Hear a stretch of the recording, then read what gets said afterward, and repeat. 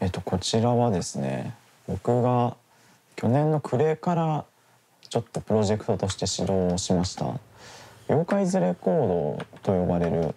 NFT アートのコレクションのプロジェクトになりますね。まあ、その名前の通り妖怪をモチーフにした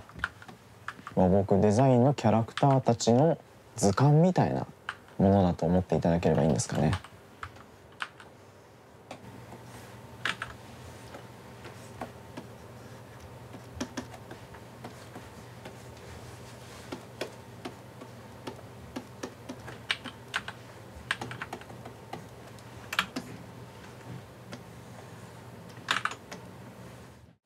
1日2枚ぐらい。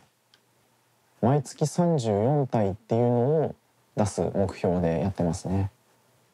結構思いつかない時は本当に思いつかないんでそういう時は